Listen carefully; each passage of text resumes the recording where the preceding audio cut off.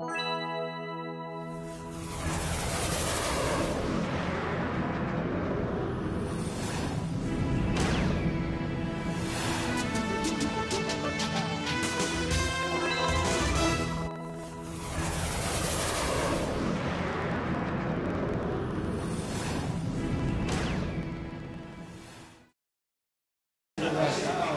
Un cordiale benvenuto dagli amici in bici. Con le telecamere guidate da Massimo Gallesi siamo a Ospitaletto Mantovano nella sede del Centro di Solidarietà Mantovano, l'Arca. E siamo qui per raccontarvi le fasi più salienti della presentazione del libro Diavolo di un corridore, le corse, i miracoli, le battaglie di Renzo Zanazzi, un libro scritto da eh, Marco Pastonesi.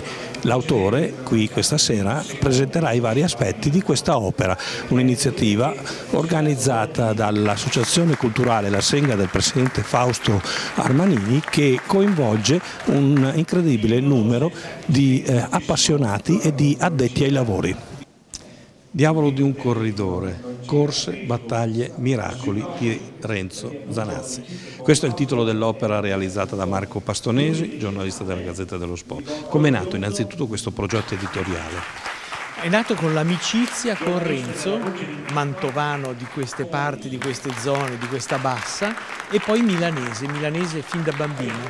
C'è stato un incontro una ventina d'anni fa, un incontro magico, perché Renzo mi ha quasi adottato e abbiamo cominciato a pedalare insieme e poi lui ha, ha pedalato, ha continuato a pedalare raccontando, raccontando tutte le sue storie, le sue avventure, le sue vittorie, le sue sconfitte, sue, i suoi amici, i suoi nemici, i suoi capitani che erano Bartali, che erano Coppi, che erano Fiorenzo Magni, cioè è stato al servizio dei più grandi campioni dell'Italia del ciclismo un atleta, un uomo che ha saputo esprimere al meglio tutte le